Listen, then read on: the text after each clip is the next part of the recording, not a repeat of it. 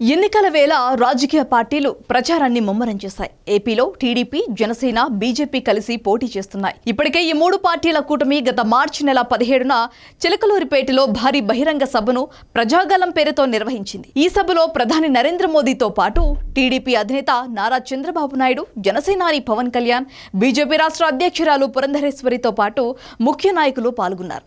ఇప్పుడు టీడీపీ జనసేన కలిసి ఎన్నికల ప్రచారంలో భాగంగా ఉభయ గోదావరి జిల్లాల్లో రోడ్ షోను నిర్వహించాయి. గోదావరి జనగర్జన పేరుతో నిర్వహించిన రోడ్ షో కాస్త జనసంద్రంగా మారింది. ఇసుకేస్తే రాలనంత జనంతో గోదావరి జనగర్జన రోడ్ షోలు సూపర్ హిట్ అయ్యాయి. చంద్రబాబు నాయుడు పవన్ కళ్యాణ్ కలిసి పాల్గొన్న మొదటి రోడ్ షో ఇదే కావటంలో జనాలు విపరీతంగా వచ్చారు.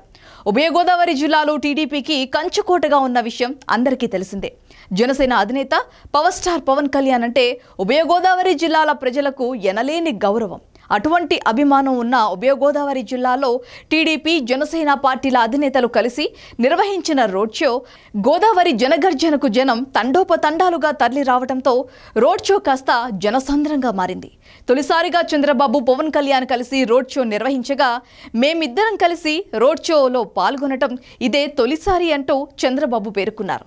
ఈ సన్నివేశానికి పశ్చిమ గోదావరి జిల్లా తణుకు తొలి వేదిక అయింది. ఎన్నికల ప్రచారంలో భాగంగా తనకు నిడదవోలులో రెండు పార్టీల తరపున ఎన్నికల సభలు నిర్వహించారు.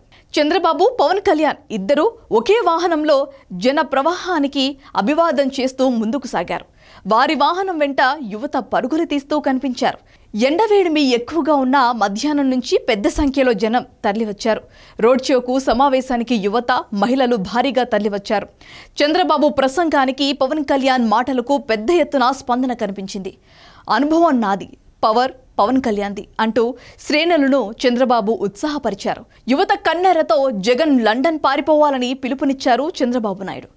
ఐదేళ్ళ పాటు జగన్ ప్రభుత్వం రాష్ట్రాన్ని భ్రష్టు పట్టించిందని రంగాల వారీగా ఎలా నష్టపోయామో వివరించారు. ఇక ఆ తర్వాత టీడీపీ జనసేన బీజేపీ ప్రభుత్వం రాబోయే ఐదేళ్ళలో ఏం చేస్తుందో వివరించారు. తణుకు నుంచి నెడదవోలకు నేతలిద్దరూ రోడ్డు మార్గంలో ప్రయాణించారు. ఉండ్రా జవరంలో పెద్ద ఎత్తున ప్రజలు వీరి కోసం ఎదురు చూస్తున్నారు. మార్గమధ్యంలో కొన్ని పెద్ద గ్రామాల్లో ప్రజలు వీరిని చూసేందుకు ఆసక్తి చూపారు. చిన్న గ్రామాల్లోనూ రాత్రివేళ కూడా వీరి కోసం ఆసక్తిగా ఎదురు చూడడం కనిపించింది. నిడదవోలు చేరేసరికి రాత్రి దాదాపు తొమ్మిది గంటలైంది. తొలిసారి చంద్రబాబు వారాహి వాహనం ఎక్కారు. ఇక ఆ వాహనంపై నుంచే నిడదవోలులో ప్రసంగించారు.